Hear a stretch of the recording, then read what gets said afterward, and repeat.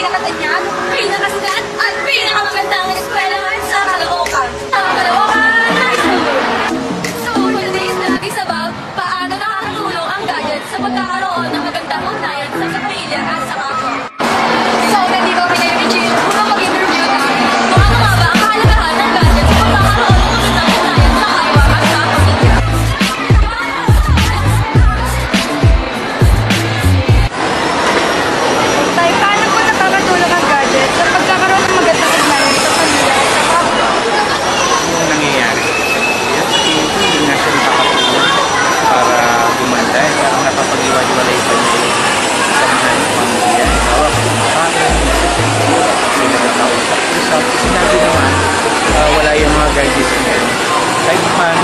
nakakapag-iwalay Siguro, pag, pagka sa malayong lugar, delikatong panahon, doon nakakapag-iwalay. Pero, kasi yung mga gadgets ang oras,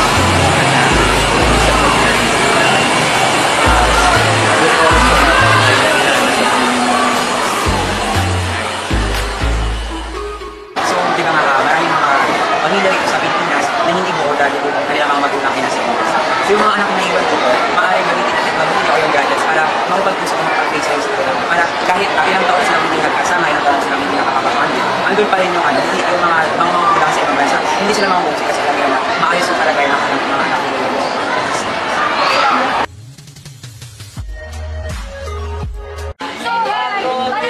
inyo gadgets? Paano na po naging magandang ugnayan sa pamilya? Ano ba silbi ng gadget sa'yo? Parang Kasi second kuya, kunwari yung magulang ko po nasa abroad, mas mapapadali po yung komunikasyon natin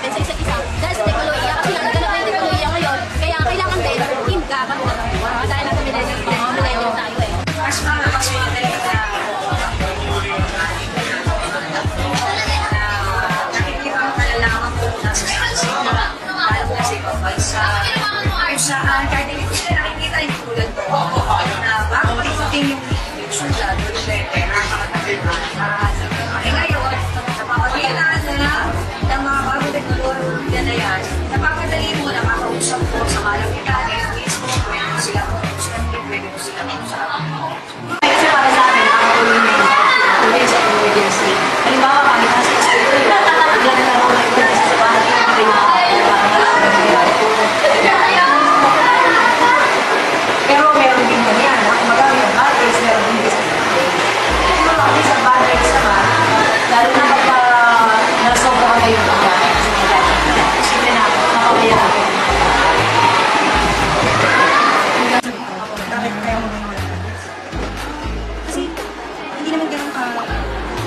yung gadget ko. As me kasi, ang use ng gadget ko is for communication. Although nahihirapan ka na kapag natin sinasagot, wala ka phone, mga thing. Ah, hindi ka, hindi, nahihirapan ka na mag-communicate with uh, other people. Lalo na kung hindi ka, yun lang naman yung downside na malaki. Pero than that, para kayo naman. But,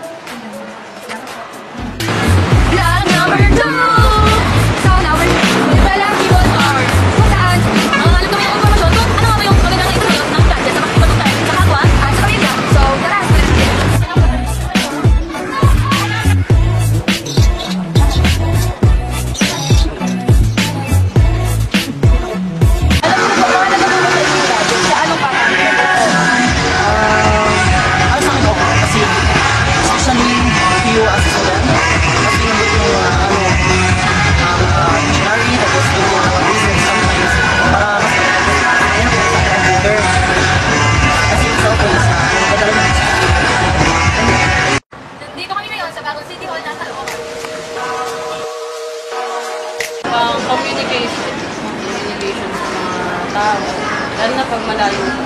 Kasi ayun, katulad yung sinasabi ko, yung Google mo. Kasi maliligawin ako eh, ito nga nahihirapan ako.